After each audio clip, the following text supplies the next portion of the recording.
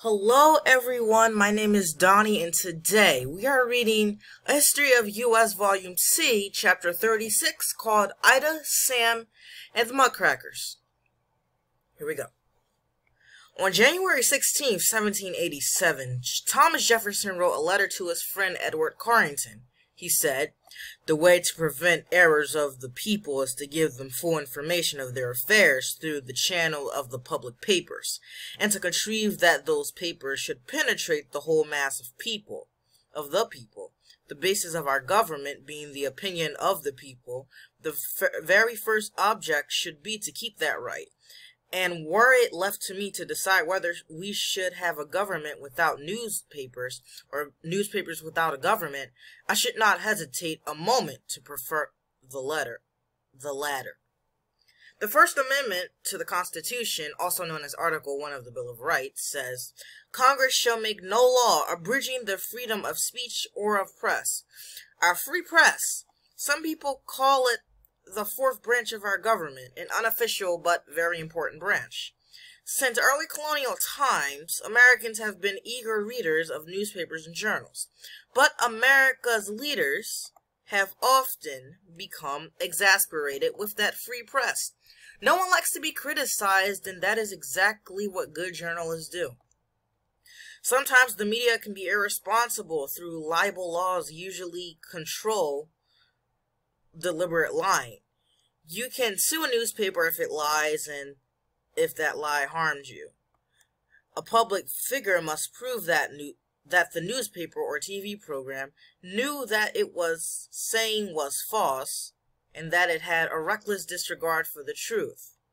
Jefferson never changed his mind about the importance of the press. And Americans have always understood that if we are to solve our problems, we need information.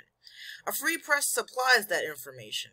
At the turn of the century, America had unusually difficult problems to solve. The country was experiencing astonishing growth, industrialization and urbanization, an influx of many different peoples, and excessive government corruption. People needed to understand these phenomena to be able to deal with them. To understand them, they had to have information. Just when they were needed, some remarkable writers and editors appeared. They looked at America critically, fearlessly, and honestly, and they explained what they saw. These writers were called muckrakers. Muck is dirt. Muckrakers were journalists who wrote about wrongs, about injustice, unfairness, and corruption. And here's a a little thing down here about Nellie Bly. I will let you read that on your own. They went to slaughterhouses where animals were killed and meat was processed, and they saw rats and dirt and described what they saw. They wrote about city bosses and how dishonest government cheated citizens of their rights and money. They wrote about the mighty industrial tycoons and how some of them broke the law and got away with it, and why that cost the public great sums of money. And they wrote that in a democracy, all of the wrongs can could be righted by the people, but only if the people are informed and take the time to vote. The muckrakers had several things in common. They wrote unusually well, they did care for research, and they cared, really cared, about making this country a better place to live. They developed a new kind of journalism, investigative journalism. Just at a time when publishing techniques made it possible to produce a good magazine, distribute, distribute it widely, and sell it for 10 cents. Everyone seemed to read the Muckrakers articles, and that made them very influential. They helped bring about change. Food inspection laws were passed. Antitrust laws were enforced. Reforming mayors were elected to office.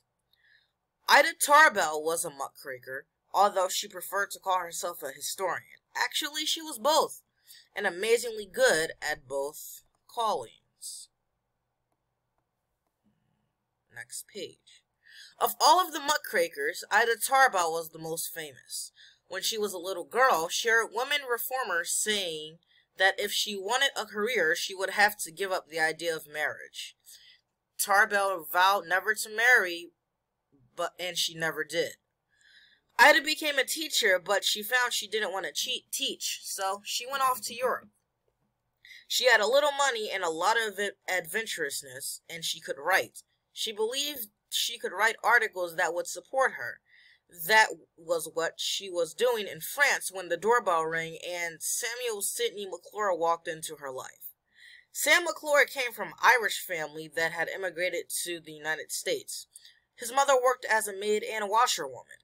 Sam worked hard and made enough money to pay for college. After college, he wrote a biking magazine. Bicycling was the new rage at that time. And then he got a bright idea.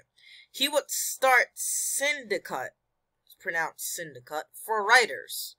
No one had ever done that before. He brought articles from very good writers and sold each article to several publications. The articles made more money than if they had sold to just one journal, and small papers and magazines were able to publish the best, best authors. By now, Sam McClure realized that what he really wanted to do was to be an editor. In 1892, he, brought, he borrowed money and founded Sam McClure's magazine. Not long after, he received an article from an unknown author. It was about paving the streets of Paris. That was an unlikely topic, but as soon as he started reading, he said he said he said to an associate, "This girl can write. I want her to do some work for the magazine." So he went to Paris, met the author, Ida Tarbell, and established one of the most productive collaborations in the history of journalism. And right here is a picture of Ida Tarbell. And here is Sam McClure. Oh, okay. And that is it for chapter 36 called The Muckrakers. Um, hope you guys enjoyed the video. Don't forget to like the video, hit the subscribe button, and thank you guys for watching.